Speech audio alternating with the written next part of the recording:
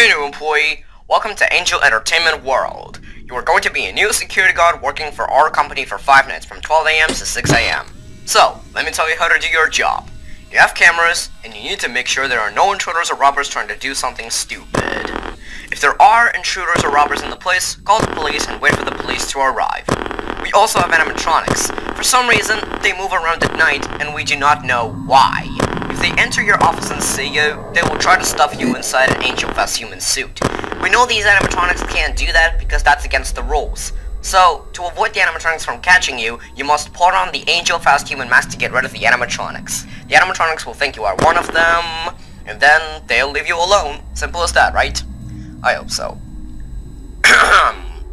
there are also two vents, ventilation A and B. Sometimes